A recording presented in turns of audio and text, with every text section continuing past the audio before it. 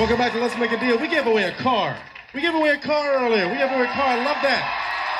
Love that. Let's try to give something else away. One person, let's go. Let's see. Let's see. I think I'm gonna go over here. Feeling this side of the audience. You come with me. Come with me. Come, come, come. Yes. Come here, Megan. Come here.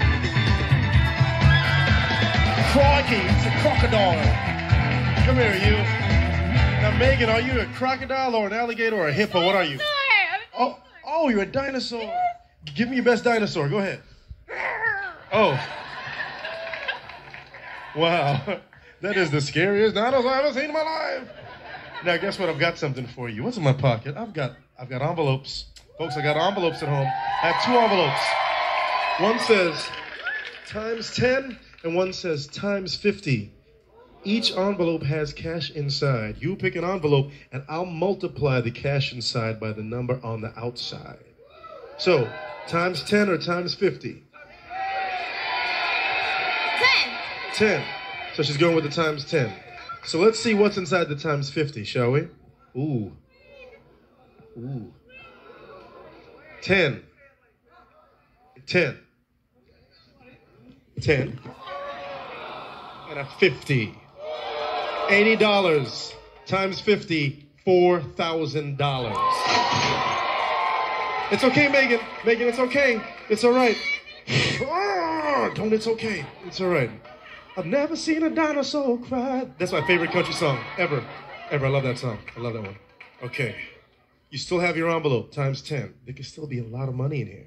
And you, now, now you can take this envelope, or I'll give you whatever's behind curtain number two.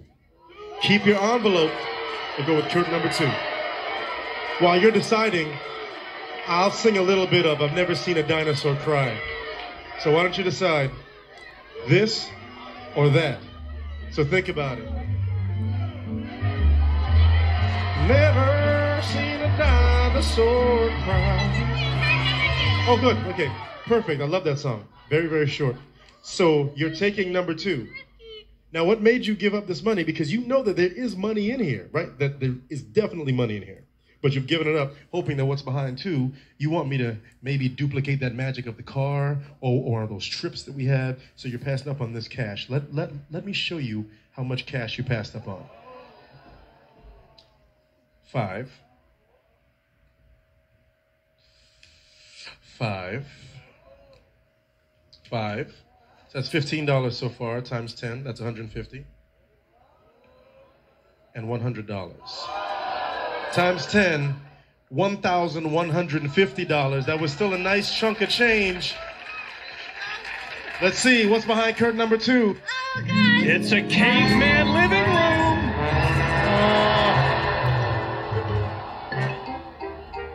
Give her a big round of applause. You were a great sport. Thank you so much, Megan. I like dinosaurs. Okay, I saw